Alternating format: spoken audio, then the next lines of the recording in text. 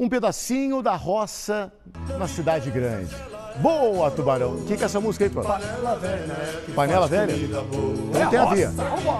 Um evento que começa hoje promete trazer as delícias da culinária de produtores rurais.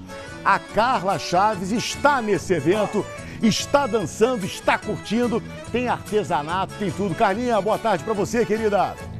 Cadê a Carlinha? Sumiu? Ah, tá aqui. Boa tarde, Tino. Tô no ritmo do tubarão, ó. Não me interessa se ela é coroa. Tem coisa melhor do que a comida da roça, Tino. Tem coisa melhor? Não tem, né? E melhor ainda você provar de todas essas delícias do interior fluminense sem precisar sair daqui da capital. Essa é a intenção do festival, né? Sabores da Roça, que passa realmente por vários municípios e a gente vai dar uma passeadinha com quem tá em casa.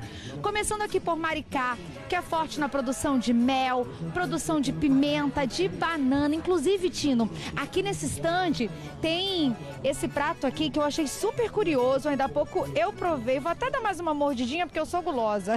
Sabe o que, que é isso? Chuta, o que, que você acha que é isso daqui? Deixa eu ver, não sei.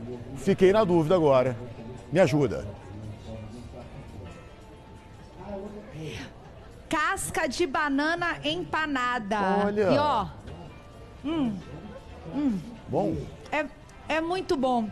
Vou deixar aqui, vou dar aqui pro meu amigo, é muito bom. E eles fazem isso para aproveitar tudo, né, do que eles produzem. Como eu disse, eles produzem muita banana. Então é doce de banana, cuca de banana e casca de banana. Agora, vamos atravessar? Vamos pro outro lado da feira, ó. Dá pra ver que são realmente vários estandes. E eu quero ir pro outro lado porque agora eu vou para Petrópolis. Petrópolis, né, conhecida como a cidade imperial conhecida também pela produção de geleia. Olha, tem uma turma aqui já fazendo uma degustaçãozinha, porque isso é bacana. Quem vier aqui, eu provei ali, quem vier pode provar também. Tem vários tipos de geleia. Com licença, vou mostrar essa daqui, olha só. Geleia de manga com maracujá. Quem faz? É bom. É a mulher do Paulo. Vou até perguntar aqui pro meu amigo que acabou de provar. Com licença, meu amigo. Boa? Eu, não, eu holandês, não falo português. Fala português, não tem problema. Eu, eu garanto, é boa. Do you like it? Very much. Yes, special. From Petrópolis. So, very good. Hum, tá bom. Então vamos agora voltar aqui, porque além de todos os produtos, tem também a aula, né? Porque a galera quer aprender mais sobre essa culinária da roça. Agora, Tino, tá tendo uma aula sobre defumação de embutidos.